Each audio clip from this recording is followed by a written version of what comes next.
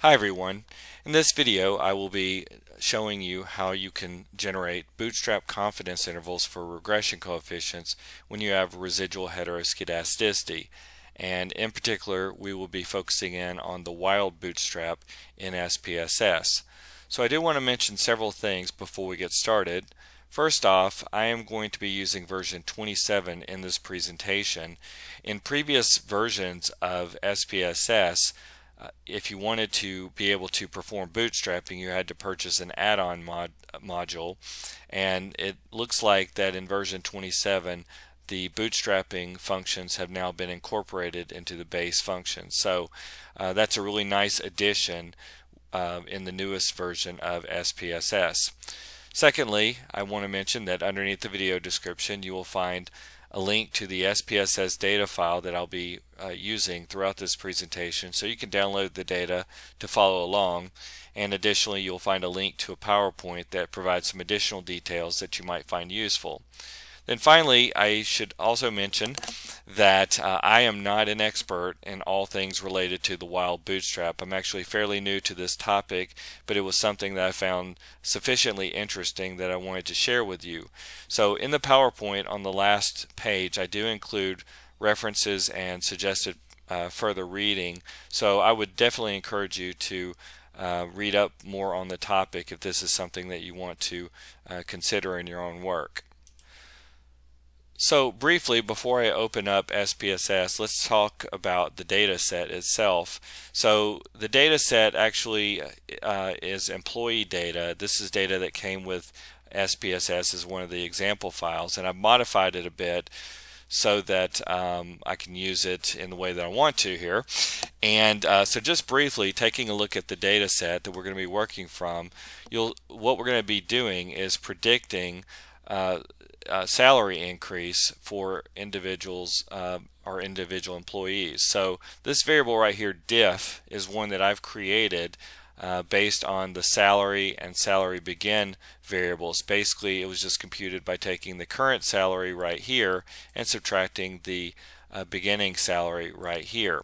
So we're going to be predicting uh, this diff variable from several variables in our data set, which include education level right here, uh, job time right here, uh, previous experience, and then gender identification right here. So uh, basically I've just kind of recoded this gender variable over here into 0 for a person identified as male and 1 for a person who is identified as female.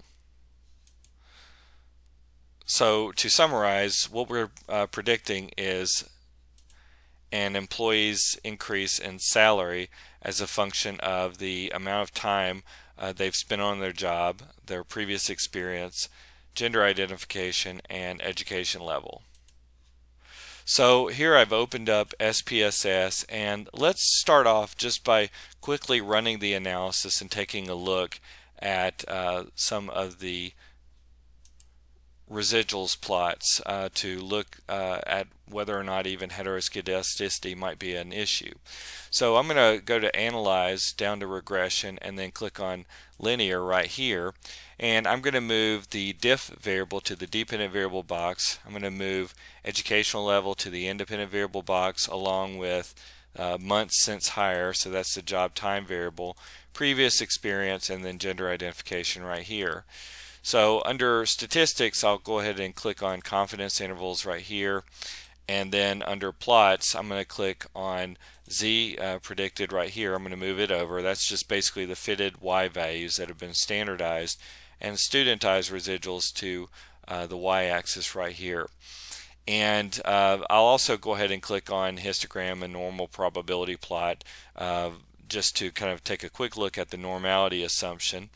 And uh, so we'll click on continue here and then we'll go to save and I'll click on uh, the unstandardized and sta uh, studentized residuals right here. So finally I will click on continue and then on OK and notice that when we uh, run our analysis here, we get our unstandardized residuals right here, and these are the studentized residuals. And we are actually going to need these unstandardized residuals when we run our wild bootstrap. So really quickly, we'll go into our output and take a look at, uh, first off, our model summary uh, table. You can see the R-square value is 0.394. Uh, so we would interpret that as indicating that the predictors were accounting for about 39.4% of the variation in the uh, difference variable we have a significant uh, f-test uh, result. So from this you would infer that the population r-square is greater than zero. We will go down a little bit further and we have our coefficients table that's given. So we have our unstandardized regression coefficients, standard errors. Uh, over here we have the standardized regression slopes. Uh, and then we have right here our t-value, uh, significance level, and confidence interval. And the issue of heteroskedasticity is important because uh, if we violate the assumption of homoskedasticity, that is the assumption of constant variance, then the impact is going to be on these standard errors right here. And the t-test that we are going to be computing right here, the observed t-value, is a ratio of the unstandardized regression coefficient to its standard error. So if the standard error is biased, then the t-value will be uh, biased along with our p-value and then our confidence intervals. So that's the reason why this actually matters. So just uh, really quickly though, uh, just looking at the unstandardized coefficients, you can see that education level and months since hire, both of those are positive and significant predictors, uh, whereas previous uh, experience and gender ID, uh, both of those ended up being negative predictors in this model. But again, those standard errors are not corrected for uh, heteroskedasticity if it's indeed present. So we'll just take a quick look at the standardized residuals, the histogram of the standardized residuals. Uh, this actually, this uh, chart right here and this one right here, the normal uh, PP plot of, of the uh, residuals, these really pertain to the issue of normality. And um, so that is one assumption of the least squares regression model. But when we talk about normality, it's normality of the residuals. It's not actually the normality of your dependent variable y. Uh, nevertheless, if you have outliers and you have a non-normal y, then certainly that factors into whether or not you would have non-normality on your um, your residuals. So you can see in this uh, histogram right here, it looks like that we've got some outliers up in the uh, upper tail of this distribution. So uh, clearly it's not a normal distribution uh, with respect to the residuals. And, and so we also have that uh, echoing of non-normality reflected in this uh, plot right here. When we scroll down and look at this plot, what we see is a fan-shaped pattern, and so that's one of the more classical patterns of heteroskedasticity that you might uh, observe with your residuals. So basically in this plot we have the studentized residuals that are plotted against the regression standardized predicted values and uh, so it's basically uh, the x-axis are the fitted y values that have been standardized. And so as you're looking at this, you can see that at lower levels of the fitted y values, you have really less dispersion uh, than you do at higher levels. So as you kind of move increase towards higher uh, fitted y values, you see greater spread in terms of those residuals. So clearly there's evidence of heteroskedasticity in our residuals. We can also plot the residuals against each of the predictors to uh, gain a little bit more information about um, the heteroskedasticity. So I'm going to go to Graphs, Legacy Dialogs, and go down to Scatter Dot right here. I'll click on Simple Scatter and Define. And uh, what we'll do is we'll move the studentized residuals that we had requested. I'm going to move that to the y-axis and just briefly go through each of the predictors. If we put educational level in here and click on OK, you can see that it looks like, again, we have evidence of heteroskedasticity. Uh, at lower le uh, educational levels, you can see there's less spread or dispersion in the residuals, whereas as when we move to the higher levels, there's greater spread. When we move down and uh, add in to our scatter plot instead of educational level we'll add in uh, the see here months since hire click on the x-axis move it over there uh, you can see there's less evidence of any kind of uh, heteroskedasticity it does look like we have some outliers in terms of the residuals but but there's not really any clear uh, evidence of heteroskedasticity going on in that particular plot. When we next add in the, um, let's see if I can find it here, previous experience, we'll move it over to the x-axis and click on add. Uh, it's a little uh, trickier here, but there might be some heteroskedasticity. It does look like maybe there might be a little bit more dispersion at the lower end of, of previous experience and a little bit uh, or um, higher dispersion at the lower end of previous experience and maybe a little bit less dispersion on the higher end. Um, and then finally, let's take a quick look at gender. So our gender ID. So we'll go in to uh, graphs, legacy dialogs, scatter dot again, and we'll move the gender ID variable over to the x-axis here.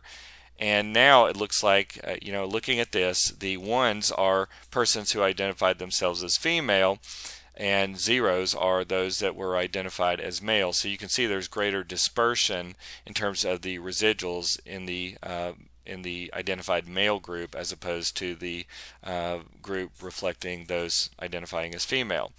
So now let's run our boot our uh, wild bootstrap to generate a, uh, confidence intervals that are adjusted for heteroskedasticity. So the way that we can do this is to go back under analyze, go back to regression and linear right here. And the first thing I'm going to do is I'm going to reset all of this so I'm going to clear out a lot of those previous selections and just put diff back into the dependent variable box and then our predictors back into the independent box. So there's previous experience, month since hire, and gender ID right there. And I'll go ahead and request under statistics. I'll go back to confidence intervals here. But basically I was trying to uh, undo the plots and the saves that we had requested previously. Um, we are going to be using this column of residuals when we run our wild bootstrap. So, uh, so it was good that we went ahead and ran our analysis to generate uh, this column of, of residuals. So next I'll click on bootstrap and this box is going to open up and I'm going to click on perform bootstrapping. The number of samples the default is 1000 so um, if you want to raise that you can. I'm just going to stick with the default for this demonstration. We'll click on confidence intervals. You can see it's 95% by default. That's we'll stick with that. And then we're going to select bias corrected accelerated uh, right here. So I'm going to click on that and then continue and so now that we've specified everything in our regression, we've made our bootstrap uh, specifications, I'm going to click on paste. And so when I do that, the syntax that's generated in the syntax editor is containing all of the, um, the selections that I've made up to this point. So you can see down in this part right here we have the regression the regression model specification and options and then right in this portion we have the bootstrap um, uh, selection and uh, various options. And so really all we have to do is to change this first line that has um, the command the the uh, subcommand for sampling. It says method equals simple and so what I'm going to do is I'm going to remove uh, the word simple and I'm going to type in wild. And in parenthesis I'm going to now type in residuals. So you'll notice that if I stop right here it's going to highlight in yellow and I do not want that to occur. I'm going to put residuals with an S at the end set that equal uh, to the name of the uh, variable in our data set now that contains the unstandardized residuals which happens to be res underscore 1 right here and then in parenthesis. So that's literally all there is to it in terms of uh, modifying the syntax to generate the uh, confidence intervals using the wild bootstrap. So now I will highlight all of this and click my green arrow and so it takes a few seconds to run through because we've requested a thousand bootstrap uh, resamples. But you'll notice that in in the uh, output, first off, you have a little table regarding the specifications. You can see the sampling method is uh, set at wild. There's the 1,000 uh, samples. Confidence interval is 95%. Confidence interval type is the uh, bias corrected and accelerated. And then you can see right here we're using the unstandardized residuals. So now when we scroll down, we still get the same model summary information and f-test. and the coefficients in this table are going to be exactly the same as before as well as the confidence intervals all that's the same uh, but in the next table we have our bootstrap for coefficients so you'll notice that first off the unstandardized uh, regression coefficients these are going to be exactly the same as what we had previously uh, when we were just using uh, the standard approach to estimating the coefficients and standard errors and so forth um, the difference comes into play with our, our uh, well, several things. You can see right here that we have a standard error that's given, and these values are different from the, these that are presented um, uh, in the table above. Uh, you'll also notice that the significance levels are different as a result of using the bootstrap um, results. And then finally, you can see that we have our confidence intervals. And so you can see that our confidence intervals differ in terms of their lower and upper bounds.